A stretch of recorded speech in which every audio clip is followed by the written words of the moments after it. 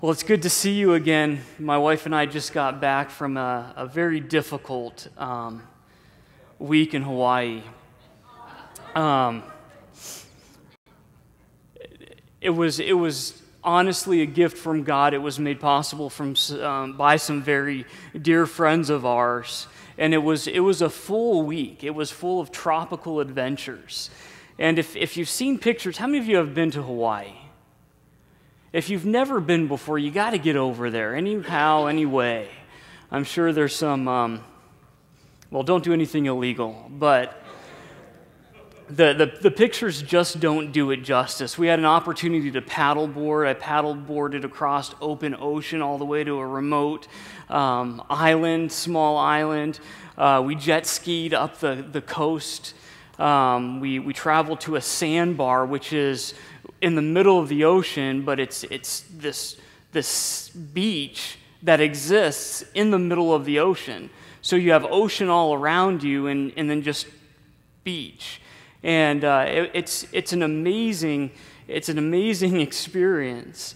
Um, one thing I learned about my wife um, there are uh, these blue floating balls of air with long strings that come off of them. They're known as men of war. And you can tell by their name that they are hostile in every sense. And uh, I got stung by one of them uh, on my ankle one day. And the following day, I was very careful. I, when we were swimming out in the ocean, I was very attentive to where these things were located. And my wife and I swam for a couple hours, and then we decided that, hey, I've made it this far, let's head in. And as I was heading in, this huge wave came over me and dropped one right around my neck and right around my, my arm. And uh, my wife looks at me and I can tell that she's processing what to do next because she can either reach out and pull it off of me and get stung herself or she can swim away. So she swam away. And and then finally I went un- under and it came off and and it, it, it's it's not bad. Steve said quit your crying. So it, it's it's um but then you, you realize, hey, you're in Hawaii, so everything's okay. But a funny thing happened while I was there. One of the evenings, I was laying in bed with my wife, and we were falling asleep, and I asked the Lord, why? Why? Why would you give me an opportunity like this? Why would you provide a week like this for my wife and I to become refreshed and restored? And he said, and again, I haven't heard the Lord audibly probably more than twice or three times in my life. The first time was when he was calling me back home, when he was calling me really to, to, to salvation, when I had destroyed everything that meant anything to me in my life because of my sin. And I was weeping in my car and he said, Dan, I still love you. And I gave my life to him at that moment. And then while we were in Hawaii, I was laying in bed and it was quiet. And I said, Why, Lord? Why have you done this for me? And he said, Because I love you. And I know for a fact there are individuals here today that you are not letting the Lord love you. He desires for you to let go of your life and find Him.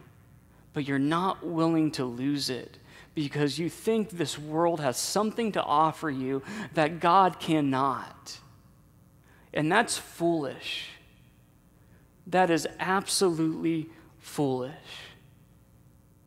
While I was packing to come home, another funny thing happened. I realized I was incredibly excited to leave paradise and come back to Phoenix. I'm serious. And I realized that I love Phoenix. And you guys might find that amusing, but I love Phoenix. You know why? Because you guys are here. Because my kids are here, my family's here. God has called me here. God is doing a work here. We talked to the the worship slide team and ask them to use photos of Phoenix, Arizona. A lot of times we have oceans and, and forests and things that create a longing to be someplace else. But if you live here, God has called you to Phoenix, Arizona for a purpose. And I'm excited about that purpose. I'm excited to be a part of Calvary Central right now because God is doing some incredible things in our midst. And I know that He wants to continue to do amazing things as we reach out to the lost outside of these walls. He wants to use us as a body to reach the lost. You know, we live in a time right now where words and phrases, phrases are, are losing their meaning. The word Christian, what does that even mean anymore? I think it's been watered down to simply someone who believes in the existence of Jesus Christ. That at one time there was a man who died, maybe even he rose again. But Christian means a follower of Christ a disciple of Jesus, one who sits under Jesus' tutelage, who sits under his direction. Not someone who lives perfectly, but they're doing their best to follow Jesus wherever he goes. Scripture says we cannot serve two masters. We cannot. And this world lives between the, the world and in Jesus. One foot in the world, one foot that they think is in a relationship with Christ. If we love the world, we do not love God. We need to clearly understand that. If you desire to follow me, you must what? Fulfill your desires daily? Deny yourself daily. Pick up your cross and follow me. I don't think Jesus stuttered. We cannot love our life, serve ourselves, seek our own gain, and also follow Christ. It's not possible. Worship. What does worship mean? Is worship a, collections, a collection of songs that give us a fuzzy feeling before the, the message? That kind of get us a little bit emotional so that our heart is prepared for the mes- message? Is worship something that we put on, on on our car radio when we feel kind of depressed and we need a little a pick me up? If you look at Pandora or any of the music streaming services, it's not called Christian music, it's called inspirational music because we need to be inspired. It's like a coach giving a pep talk. And I'm not saying worship music can't get us back to a place where we're focused on what's important. But what's the true meaning of worship? Worship is a life that's continually submitted and surrendered to Jesus Christ. It's not a song, it's not a feeling, it's a life surrendered. Romans 12:1 Paul writes, "I appeal to you, I beg you, brothers, by the mercies of God, present your bodies as a living sacrifice, holy and acceptable to God. That's the only thing we can give God. Really, what can we give God? Ourselves. It's all we have. All we have to give Him this morning is ourselves. Lord, do what you will in me and through me. I appeal to you, present your bodies as a living sacrifice, holy and accept, acceptable to God, which is your spiritual act of worship. If we've spent our entire week saying no, no, no, no to God, and then we come here this morning singing praises to Him, I'm sorry, that's not an act of worship. Blessing and cursing do not come from the same mouth. That time of worship is an overflow of our submission to Christ during the week. And then church. What does church mean? For most, it's that place, that building that they go maybe once, twice a year, maybe once a month, maybe once every Sunday, maybe Sunday and Wednesday. But that is not church. Church is the body of Jesus Christ. We're not called to go to church, we're called to be the church. The bride of Jesus Christ, a collection of saved sinners who live for and through Jesus. 1 Corinthians 8 6. Yet for us there is one God, the Father, from whom all things and for whom we exist. Why do you exist this morning? Why are we breathing? Why do we have life? Why do we have energy? Why do we have the ability to reason? Paul tells us in 1 Corinthians there is one God, the Father, for whom we exist, and one Lord Jesus Christ, through whom all things and through whom we exist. We exist for Christ and we exist through him. And that's why I was excited to come home, because I see this at Calvary Central. But I also see God pushing us outside these walls to reach out to the lost. Guys, we have a very unique opportunity because of where God has us, because of our location. See, Paul, in these, the, looking back at Sunday, where was Paul? He was in Athens. Athens wasn't one of the biggest cities in the Roman Empire, but they were one of the most educated by worldly standards. They had one of the, the, the most well known educational institutes in all of Rome. About 10,000 people lived in Athens. And now today we're going to look at Paul, and he's going to travel to Corinth and Ephesus. These are three of the most major cities in the Roman Empire.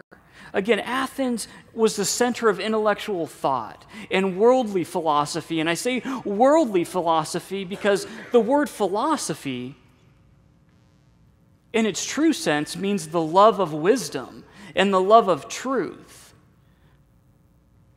And Jesus says, I am the way, the truth, and the life. So true philosophy is godly philosophy. It starts with the understanding, the worldview that God created.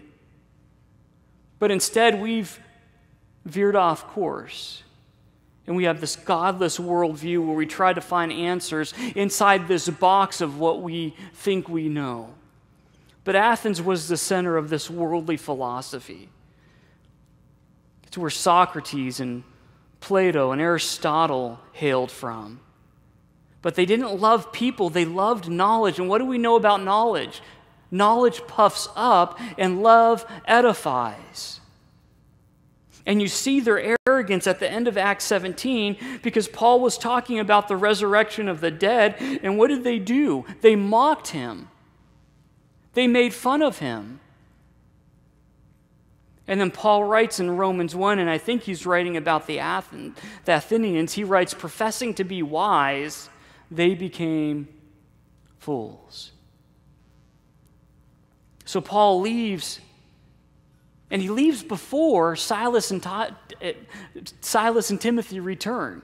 He was supposed to wait in Athens for Timothy and Silas, and he decides, hey, you know, what, I'm not going to stick around. So he travels to Corinth, and Corinth was massive, had just under a population of 1 million people.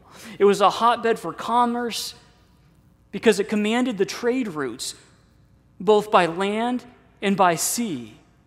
So money was flowing in and money was flowing out, and it was also known throughout the region for its love of worldly pleasures. If you had a vice of any kind, there was probably someone in Corinth that was willing to feed that vice. That's the type of city it was. The name Corinthian, and I'm sure most of you are familiar with this, it was synonymous with a drunkard. So if even if you didn't live in Corinth, maybe you were a Ethiopian and you went to a party and your buddy got drunk and passed out on the ground, you'd be like, oh, look at that Corinthian. That's that's how debased that society was. They were obsessed with sensuality. In Greek plays, a Corinthian was often portrayed as someone who was drunk. That was the stereotype. This is where Paul is entering into now. This is where Paul is bringing the gospel to. Now, the center of Corinth there was a temple dedicated to the goddess Aphrodite. And every night, over a thousand prostitutes would come down from this temple and offer themselves to men as an act of religious worship. And the funds would go back into the, the temple. Doesn't that sound like a man made religion? Hey, this is worship. All you prostitutes, you come down from the temple and you sleep with us men, and we'll call it an act of worship. That's what a man does when he's left to his own desires. While Paul was in Corinth, let me give you a little bit of his mindset because he wrote the book of Romans while he was staying in, in Corinth. And as he looked around at everything that was going on, let me read you his words in Romans 1:28. He says, "And even as they did not like to retain God in their in their knowledge, even though they didn't give God a second thought, God gave them over to a debased mind to those things which are not fitting, being filled with all unrighteousness, sexual immorality, wickedness, covetousness, maliciousness, full of envy, murder, strife, deceit evil mindedness, they are whisperers, backbiters, haters of God, violent, proud, boasters, inventors of evil things, disobedient to parents, undiscerning, untrustworthy, unloving, unforgiving, unmerciful, who knowing the righteous judgment of God, that those who practice such things are deserving of death, not only do the same, but also approve of those who practice them. That last verse, knowing the righteous judgment of God, that those who practice such things are deserving of death, not only do they they not only do the same, but they also approve of those who practice them. He's saying those that know the, the truth not only approve of this broken lifestyle, but they participate in it, knowing its end. This is what Paul wrote about the city in Corinth. And we're going to see Paul enter into Ephesus as well, where there's half a million people. It's the religious capital of Rome at the time. And see, the thing about the Roman Empire, there's a part of the Roman state called the imperial cult. Have any of you ever heard of that before? The imperial cult. It was, it was really a, a, religion, and just like Pharaoh, the emperors and members of their families were worshiped as gods. That's what we do. When we push God out of our culture, we become gods. Just like Pharaoh, just like the Roman Empire, just like the Mormon faith, where when you die, you get your own planet with many wives. Who would want many wives? But that's what we do. That's what our mind conjures up when we're left to our own desires. So, Paul is hitting some huge cities on this leg of his journey, and big cities have unique problems, but they also have very unique opportunities. How many of you know what the biggest city population wise is in the United States? Take a guess. Michael knows because he's from there. New York City, New York. Number two, probably the worst city in all of the world, Los Angeles, because the Lakers and Dodgers reside there. Number three, Chicago. Number four, Houston. Number five, Philadelphia. Pretty big cities, huh? Who's number six? Phoenix. We are the sixth largest city population wise in the United States. You ever think about that? And God has us here, smack in the middle of it. And because of that, we have some very unique problems we are exposed to the very same things that Paul is seeing in the city of Corinth. And we're not just exposed to it, it lives in our minds. See, ministry in Phoenix looks very different than ministry in Belleville, Pennsylvania. That's where my grandparents and my dad is from. It's Amish country. I remember one day I was visiting and I was looking through the newspaper, and in the crime section, there was only one article. Someone stole a gas cap from a lawnmower. That was, that was newsworthy there. But in our newspaper, we see murder after murder after murder, and it doesn't move us because we're so desensitized to it. Guys, we are in a unique situation, but with unique opportunities. So, as we study Paul, as he goes through these big cities, let's continue to learn how to be the church and not simply go to church, but how to be the bride of Christ, how to be his body. Because Acts, it's not a description, it's a what? It's a prescription. It's prescribing to us how we are to be the body of Jesus Christ. Look at Acts chapter 1, verse 11.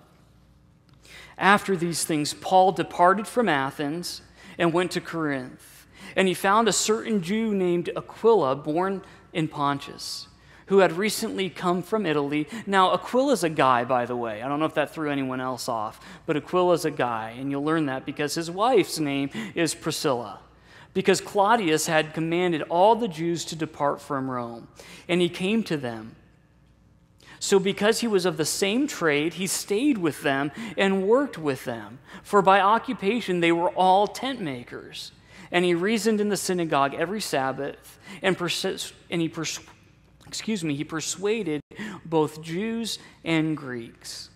When Silas and Timothy had come from Macedonia, Paul was compelled by the Spirit and testified to the Jews that Jesus is the Christ. But when they opposed him and blasphemed, he shook his garments and said to them, Your blood be upon your own heads. I am clean. From now on, I will go to the Gentiles. And he departed from there.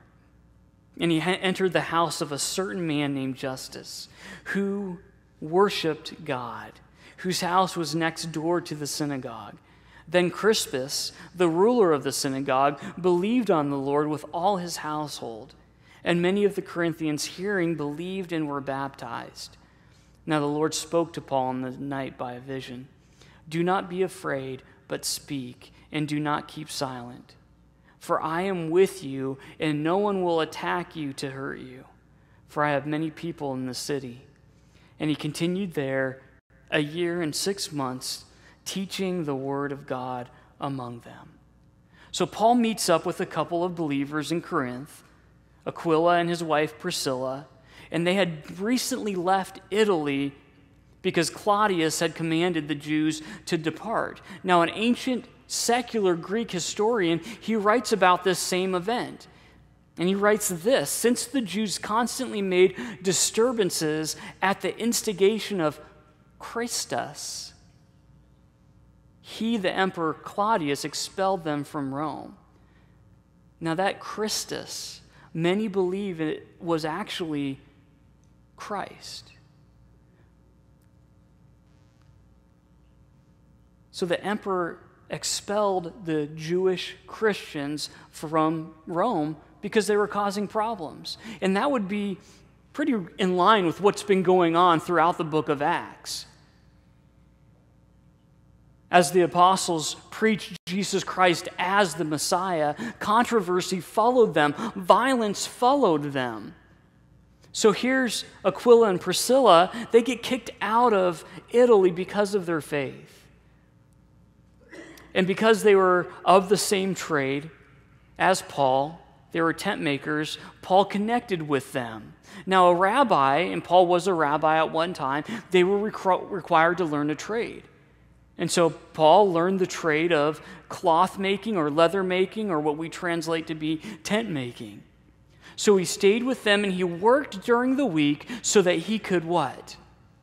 Reason on the weekend reason in the synagogue on the weekend. Paul's mission, look at this, guys. Paul's mission wasn't dependent on outside financial support.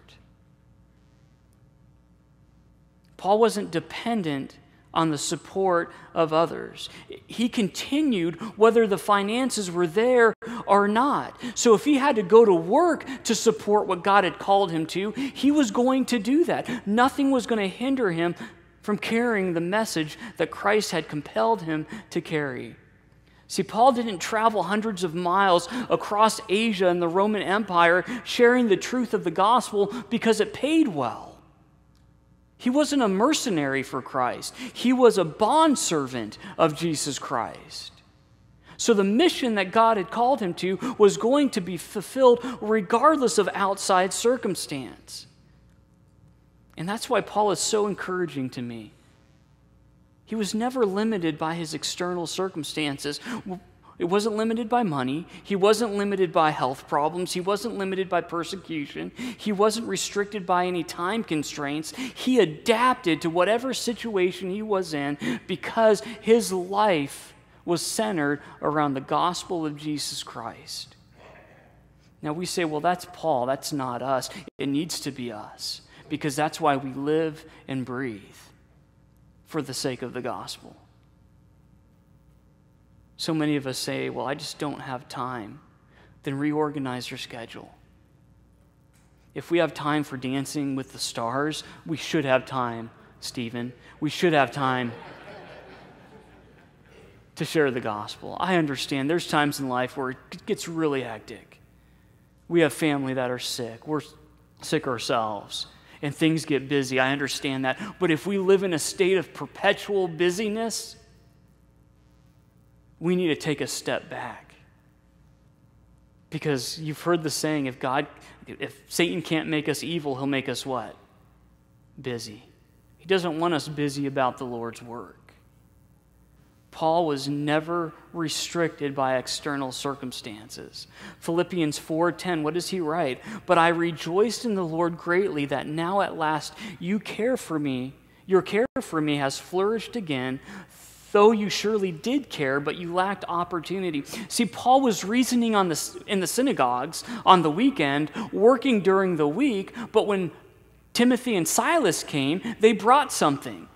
They brought something from the church in Philippi that's in Macedonia. They brought a gift so that Paul no longer had to work during the week. He could give himself entirely all week long to preaching the gospel of Jesus Christ. So Paul's writing back to the church in Philippi here in chapter 4, verse 10. He said, I rejoice in the Lord greatly that now at last your care for me has flourished again, though you surely always cared, but you lacked opportunity. Not that I speak in regard to need, for I have, listen to what he says here. He says, Thank you for your gift.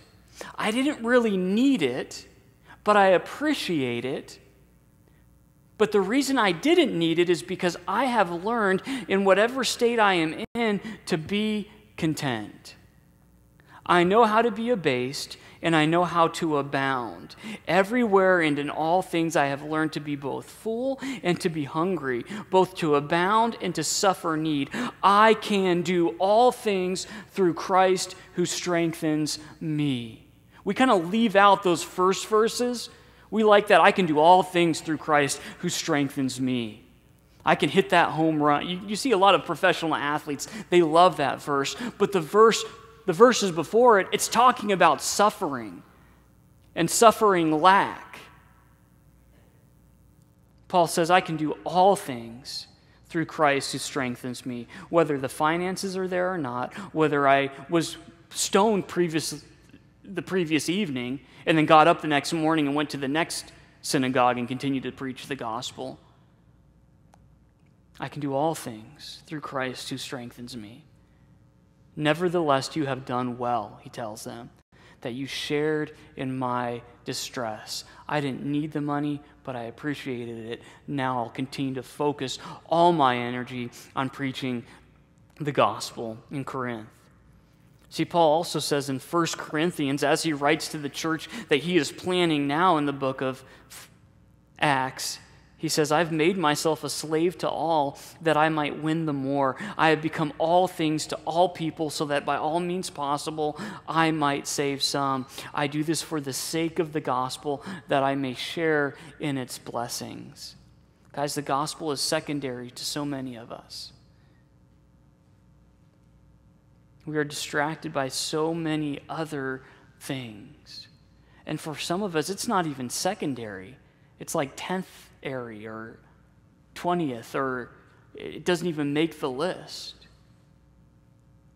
And I'm not talking about simply going on a street corner and, and, and telling people they're going to hell. That's not the gospel. I mean, having the cross in full view all the time in every interaction we have, loving the lost. Does God's heart break for the lost? See, we, we need to be careful.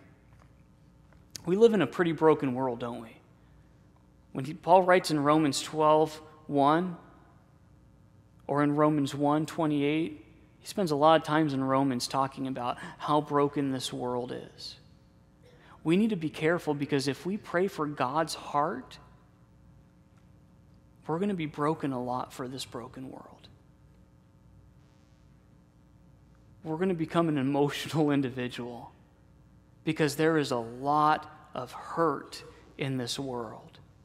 But that hurt, when we can have compassion on it, when we can feel the hurt of someone else in our own heart, when we can see their desperate need for Jesus, it changes the way that we love them and it changes the way that we pray for them. So it's dangerous. You better buckle up if you pray for it, but we desperately need it.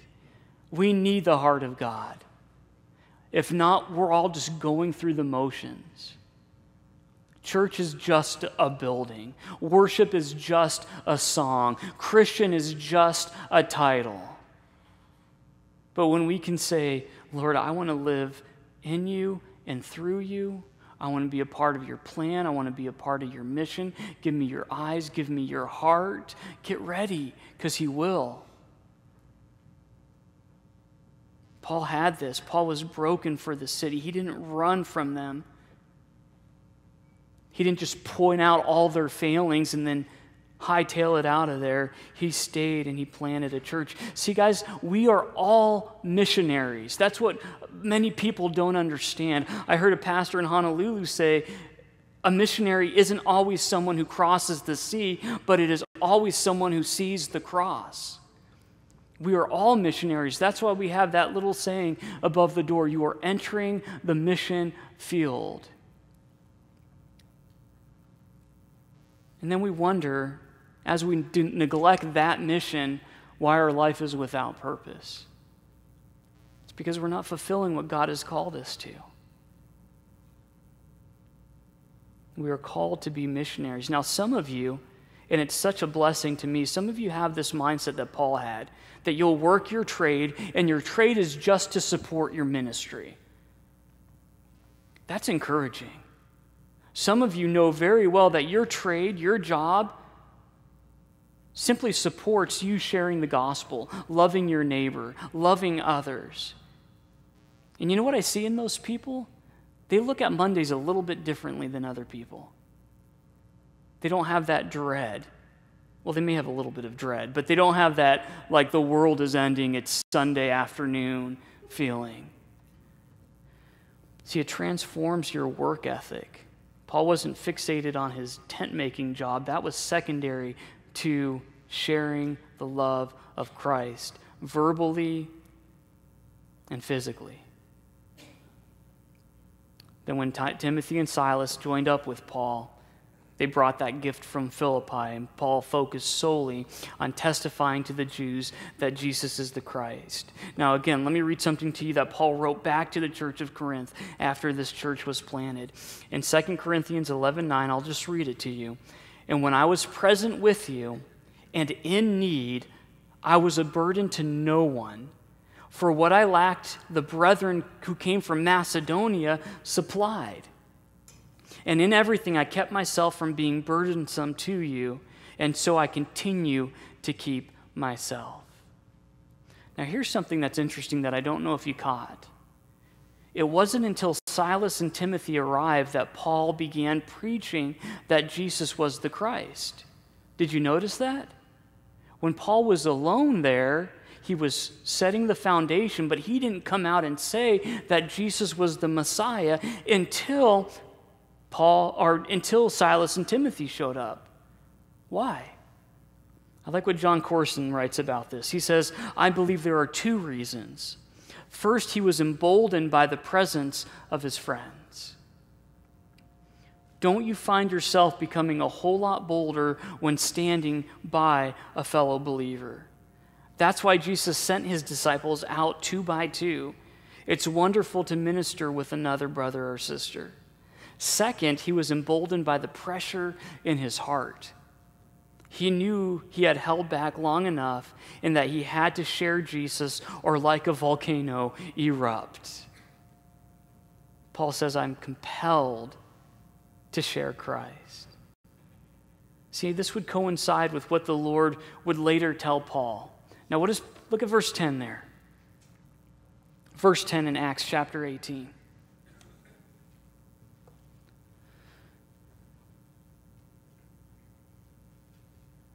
It would seem that Paul held back a little bit until Silas and Timothy got there. And the reason why I think is kind of clear because look at what Jesus says to Paul in a vision Do not be afraid, but speak, and do not keep silent, for I am with you and no one will attack you to hurt you, for I have many people in this city. Do not be afraid, I am with you. Now, Jesus usually doesn't tell us to not be afraid unless we're what? Afraid. You're a deep thinker, I can tell. Jesus wouldn't tell Paul, hey, don't be afraid, if Paul wasn't afraid. So, what was Paul afraid of? What did Paul fear? Paul consistently says throughout his epistles, I will not fear what man can do to me. But I don't think that's something that he was born with. I think it was something that he arrived at, that the Lord had to work out in him. See, Paul's starting to see a trend wherever he goes and he preaches the gospel and people come to Christ and they get saved, what happens next? Conflict, usually violent conflict. Paul's noticing a pattern here. And so now here he is in Corinth, which is really hell on earth in some sense, as godless as, uh, of a culture as you could probably get and he's going toe to toe with the kingdom of man.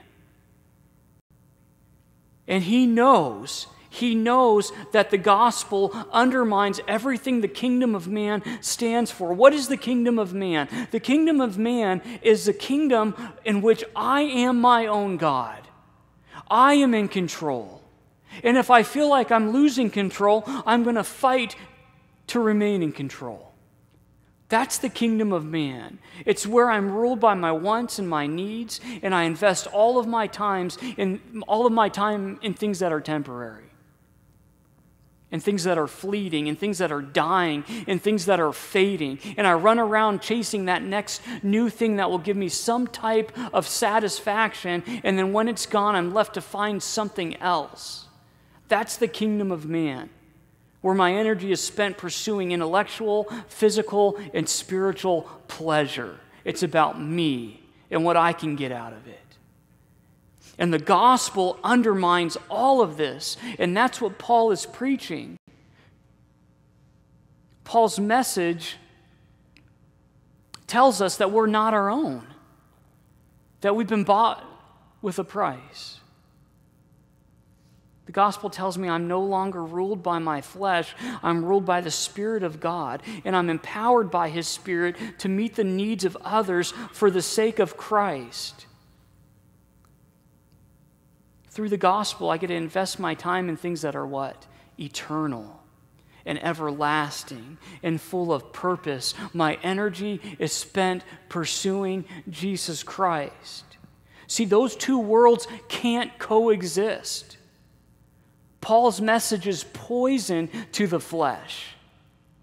Paul's message is a consuming fire to the self centered, worldly mind.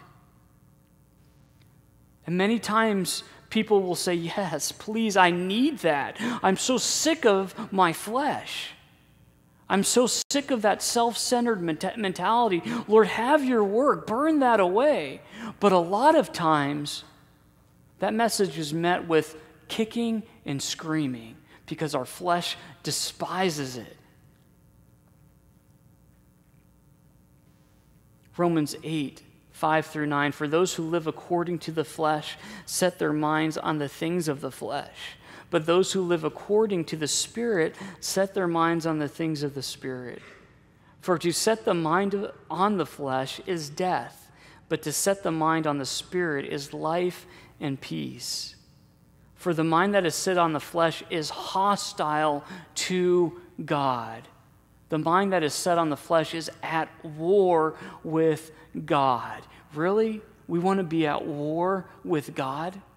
Who do we think we are? For it does not submit to God's law. Indeed, it cannot. Those who are in the flesh cannot please God. You, however, are not in the flesh, but in the Spirit, if in fact the Spirit of God dwells in you. Anyone who does not have the Spirit of Christ does not belong to him. How does that message sound to you this morning?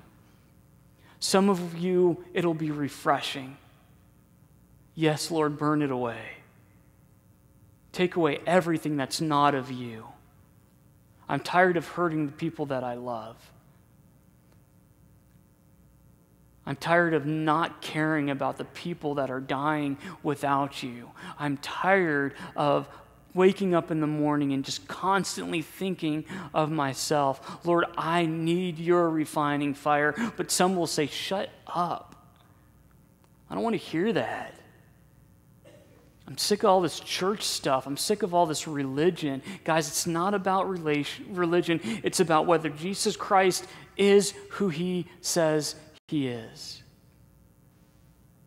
2 Corinthians 2:15 For we are to God the fragrance of Christ among those who are being saved and among those who are perishing. To the one we are the aroma of death leading to death, and to the other the aroma of life leading to life. And who is sufficient for these things? If you live out the gospel, you will smell like garbage to some. They'll want to get you away from them, and to the others you will be the sweet smell of life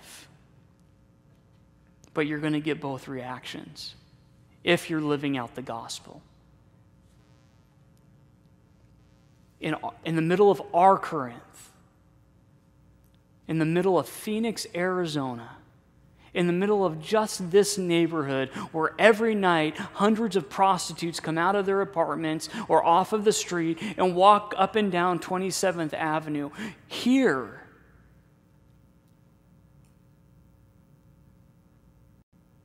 Will we live out the gospel? Will we reach out to them?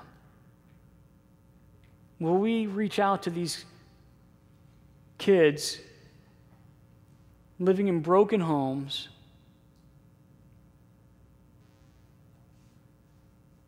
Who have no father at home, maybe they have no mother at home. We have kids in our daycare who are getting passed around like a used pair of shoes. And they're constantly being told the lie, not audibly, but by the way their lives are progressing, that you don't matter. Your parents didn't even want you. Your aunt and uncle are looking at any excuse they can to get rid of you.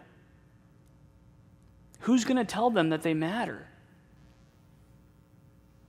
Do your neighbors know that they matter to God? Do you know the names of your neighbors? I was so convicted the other day. I've been living next to my neighbor for a year. And finally, he was outside, and I may have shared this with you already. And I noticed he had a, a Jesus fish on the, the back of his car, so I thought I'd have fun with him. I'm like, Are you one of those Christians? And he said, Yeah, I am. I said, Awesome, so am I. and he goes to a Calvary down the road. And finally, two Christians living next door to each other for a year get to meet and say hello. I don't know that that's how it was supposed to be. We live in the middle of Corinth. We have incredible opportunities. It will be a struggle, it will be a fight, there will be opposition. But our encouragement is the same. Do not be afraid. Do not be overwhelmed, for I am with you. A lot of times we think, what difference can we make? I can do all things through Christ who strengthens me. How much time do we got left, guys? Honestly, as we grow older, how much time do we really think we have left?